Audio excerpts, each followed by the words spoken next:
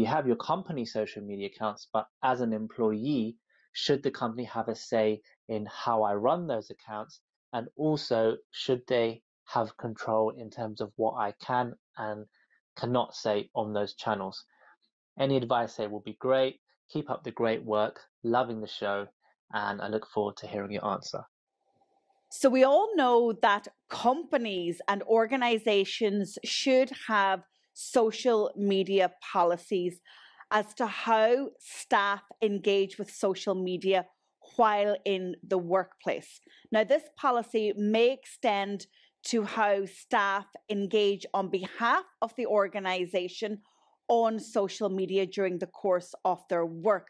And remember, the policy provides the boundaries and the rules of engagement, and it makes those rules really, really clear. So, having a policy is important.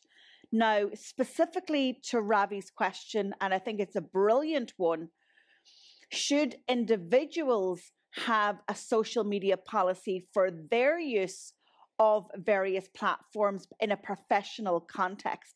If I think about me, I run my own company, right? So I make the rules. And of course, like anyone on social, I could break some rules.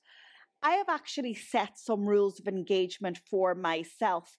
And I'll share them with you and you can take them if you want. So I have this this three point rule for social and that is if what I post on social is something that I would be happy to say on national radio, happy to say on this podcast or in a boardroom of my peers or clients, and thirdly, in front of my mother, then they are my rules of engagement. I'm happy that I go out on those points and with that content.